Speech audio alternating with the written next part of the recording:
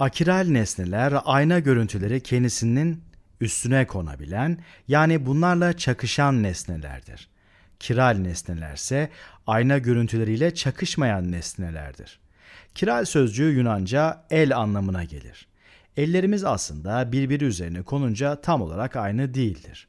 Ama yansımalarıyla uyumludur. Ama önce fincanın aynadaki yansımasına bakalım. Solda gerçek fincanı görüyorsunuz. Aynada ise yansıması var. Fincanı aynadan biraz uzaklaştırıp buraya tıpkı aynadaki yansıması gibi duran başka bir fincan koyalım. Sağdaki fincanı alıp biraz çevirelim. Gördüğünüz gibi çevirdiğimde ilk fincanın aynısı oluyor. Yani üst üste koysak tamamen çakışacak gibi. O zaman fincan akiral bir nesnedir. Aynısını bir molekülle deneyelim. Bu bir diflorometan. Yeşillerde flor atomları. Aynada yansıma görüntüsünü görüyorsunuz. Yine molekülü aynadan uzaklaştırıyorum ve aynada gördüğüm yansımanın aynısını buraya koyuyorum. Sağdakini yani aynadan yansıyan görüntüyü çevirdiğimde soldakinin üzerine gelebiliyor. Çevirince görüyorsunuz soldakinin aynısı oldu. Aynadaki yansımasıyla çakıştığına göre buna akiral bir moleküldür diyebiliriz. Gördüğünüz gibi tamamen aynı iki molekülden bahsediyoruz. Bir de ellerime bakalım.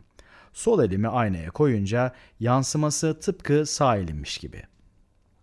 Elimi aynadan çekip yansıması gibi sağ elimle birleştiriyorum. Şimdi sağ elimi çevireyim. Bakalım sol elimle birebir aynı mı? İki avucum da yukarıya dönük ama baş parmaklarım aynı yönü göstermiyor. Yani üst üste koyunca aynı şey değil. Şimdi tekrar çevirmeyi deniyorum. Baş parmaklarım üst üste geldi ama bu defa da avuçlarım aynı konumda değil. Ne yaparsam yapayım sağ elimle sol elimi aynı olacak şekilde üst üste koymam mümkün değil. Yani yansıyan görüntü asıl nesnenin tam bir kopyası değil. Yansıma nesneyle çakışmadığına göre ellerimiz kiraldir. Bir de moleküle bakalım.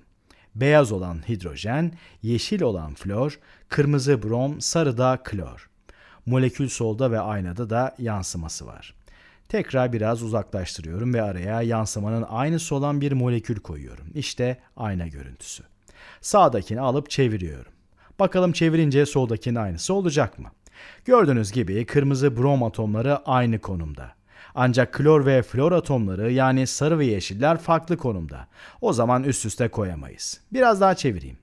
Şimdi sarılar aynı konumda ancak kırmızı ve yeşil değil. O zaman sağdaki yansıma şekli ne kadar çevirirsem çevireyim soldaki gibi görünmeyecek. Aynadaki yansıma aslıyla birebir aynı olmadığına göre bu bir kiral moleküldür diyebiliriz. Bu arada bu karbon çok önemli. Dört farklı grubun ona bağlandığını görüyoruz. İşte buna kiralite merkezi deniyor.